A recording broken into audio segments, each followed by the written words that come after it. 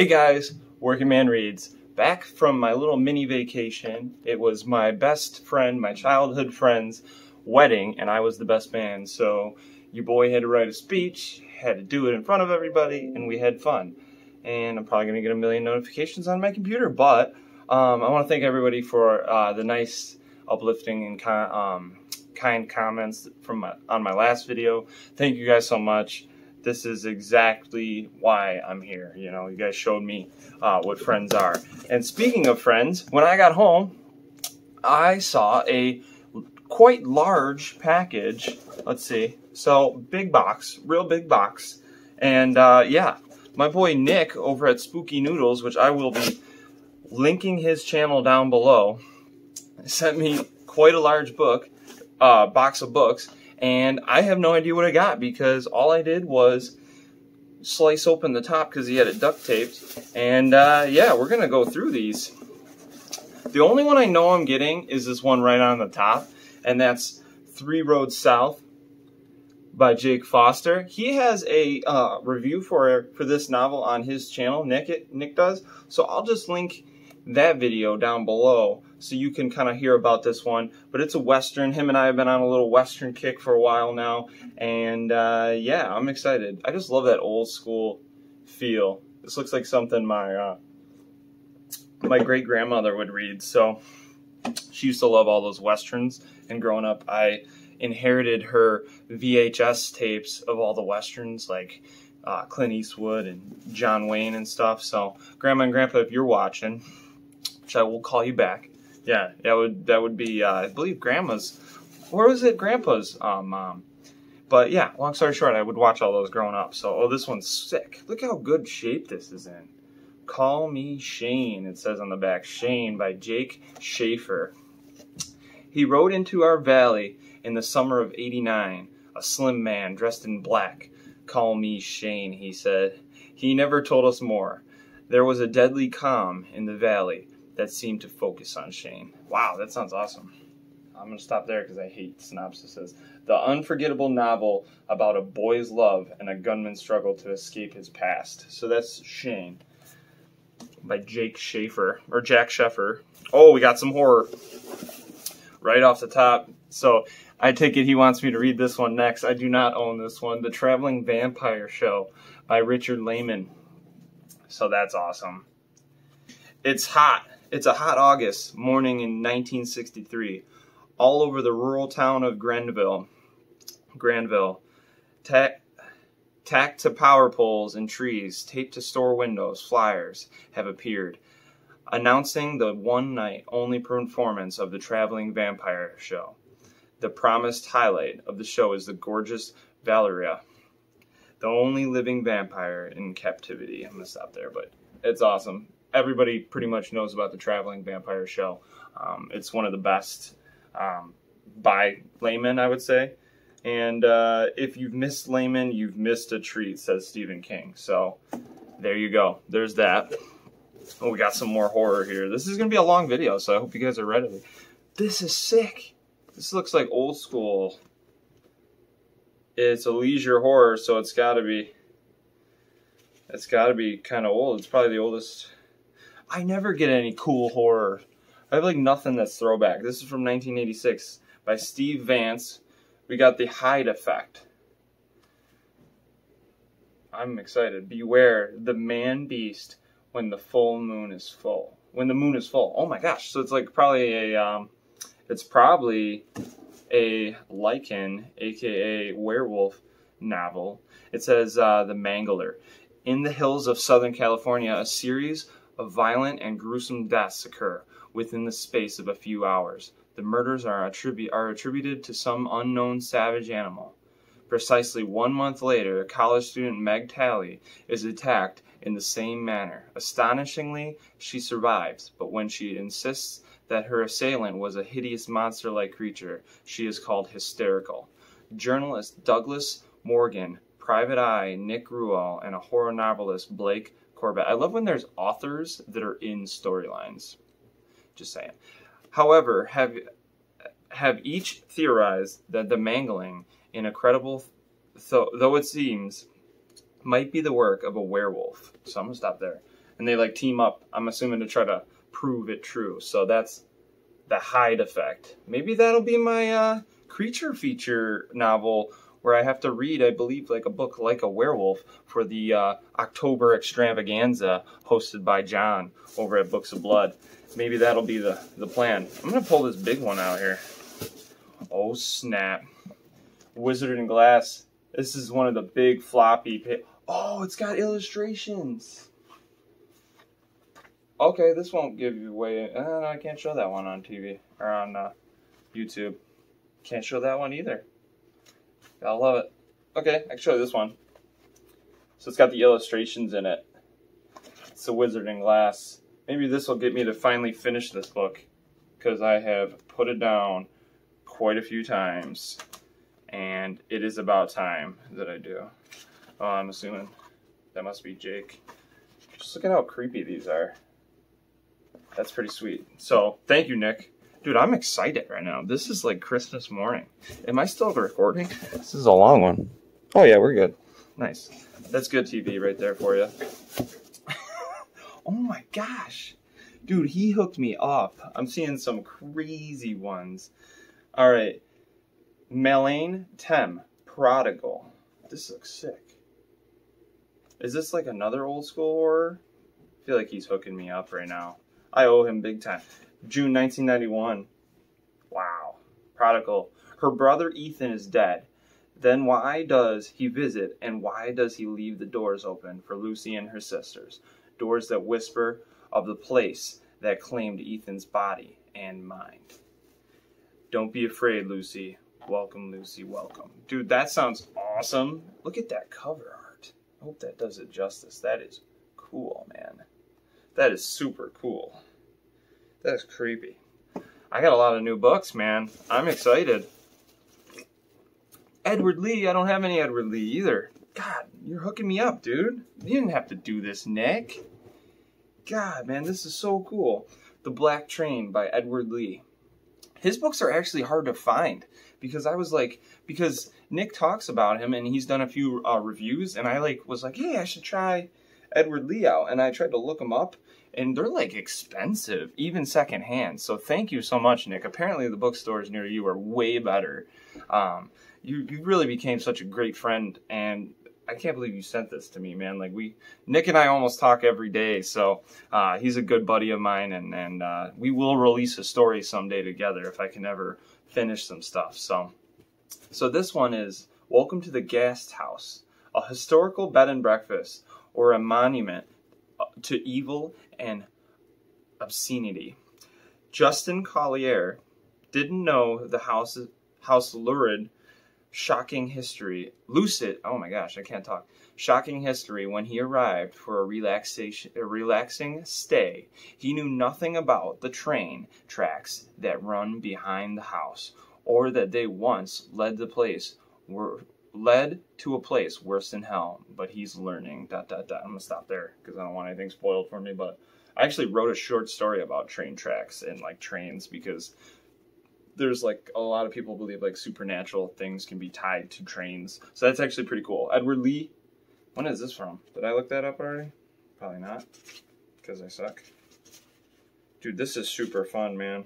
This is so much fun. 2009. So yeah, buddy. Cool, dude. Oh, we got another. We got another couple uh, westerns. Let's do those.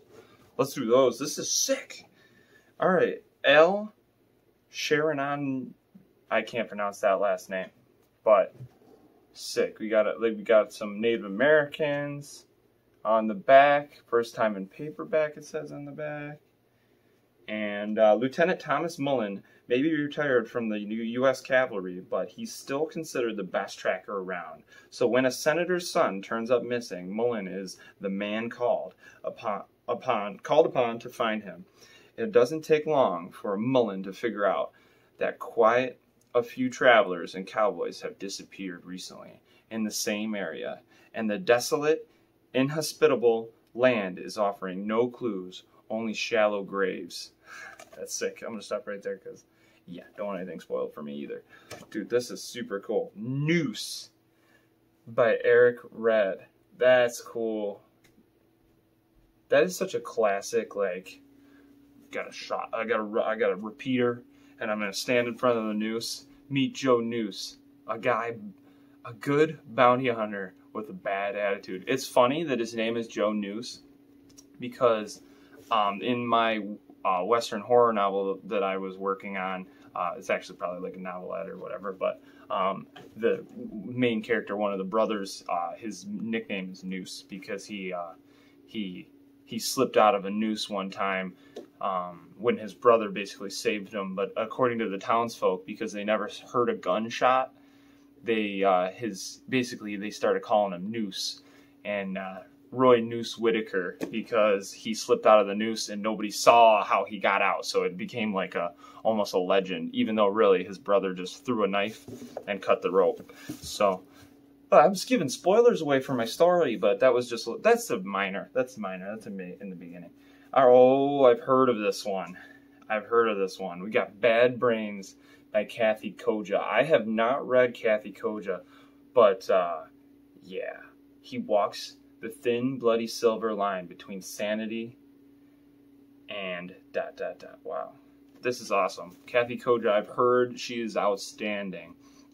Like the ocean of desire, Austin was still staggering from the divorce from Emily. First, he couldn't paint paint any more than he did.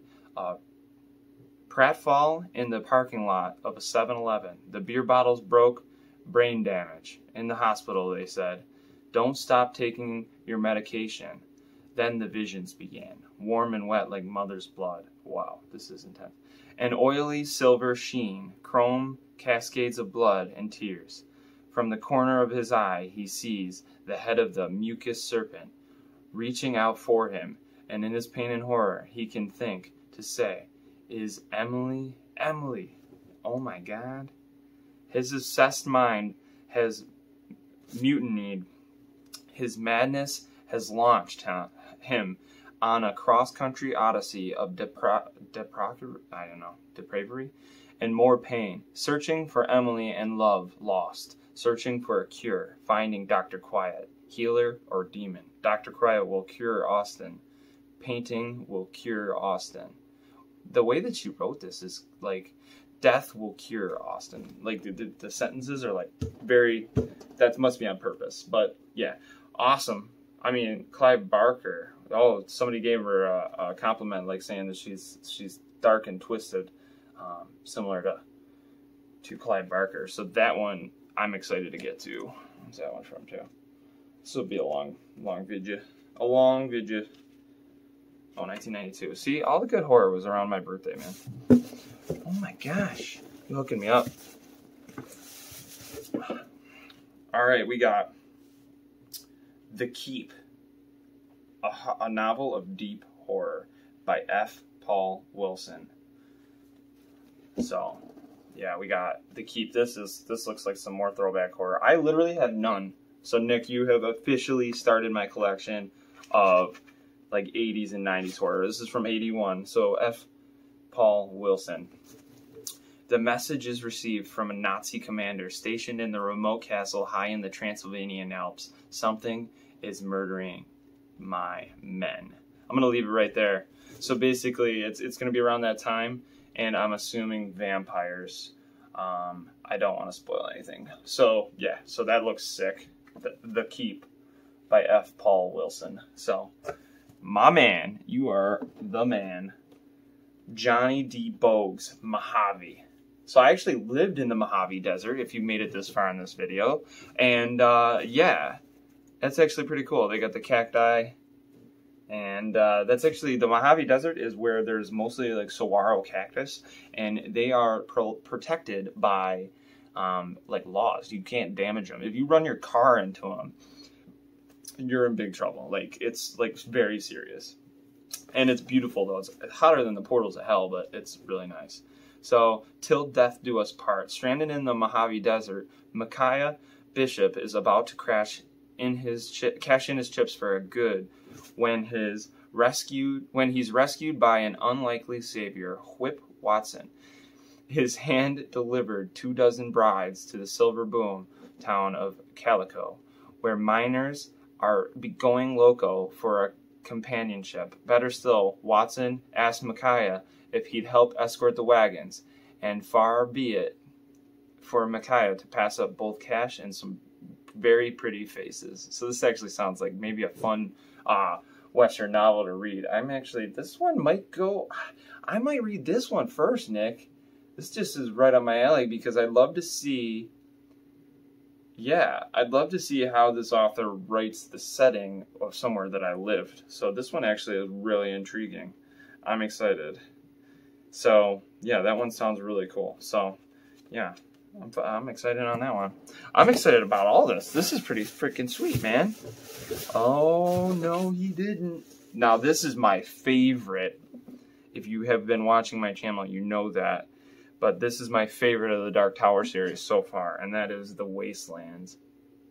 Book 3 in the Dark Tower. So, um, I won't read the back, but I'm assuming this is one of the illustrated versions. So now, that means I have the second, the third, and the fourth of this type of paperback for the Dark Tower with the pictures in between, which shouldn't, I will make sure that's not a spoiler, but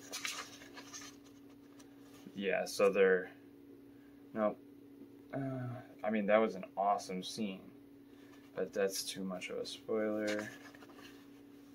Okay, sweet. So you got, uh, it looks like Eddie Dean and Susanna, and they're they're fighting some things, and they have Roland's revolver, one of them, because Roland has two revolvers, the main character in the the novels. And uh, wow, Nick, this is sick, man. This is just going right to my Stephen King collection.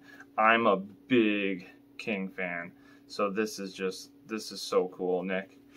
So thank you so much. Oh, look at. Look at the artwork. How cool, man.